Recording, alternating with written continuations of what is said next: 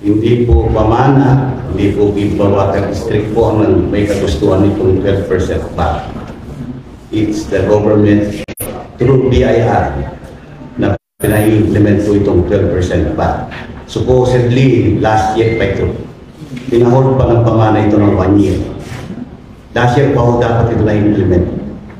Hindi mo namin kagustuhan ito, hindi rin kagustuhan ng pamana, kundi po ang ating gobyerno. Ah, alam po natin yan na national government na eh. Ang pinagtataka lang namin, kung noong nakaraang operation, kung one year, hindi, nag-impose ba kayo ng bat? Hindi, di ba? What is the difference nung one year nagkaroon ng one year before venture agreement, venture agreement at one year ngayon? Kung sinasabi niyo na gobyerno ang nagpataw, bakit itong nag-joint venture agreement ka agad wala kang pinataw? Meron po tayo doon na 3% na ah, franchise tax na binabayaran. Kaya kuya, yung nga gusto kong nakuha niyo ba yung point ko?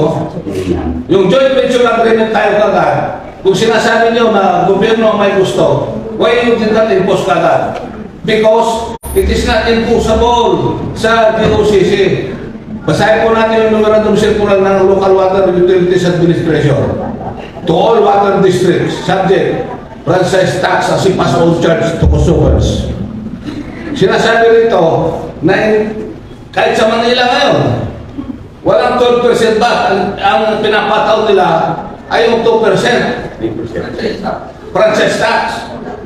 I-correct ko lang po yan. Dati po nagbabayad ng Manila Water ang Maynila ng diba, 12%. Ngayon lang po nila ito ni-request sa BIR na franchise tax na lang ang bayaran.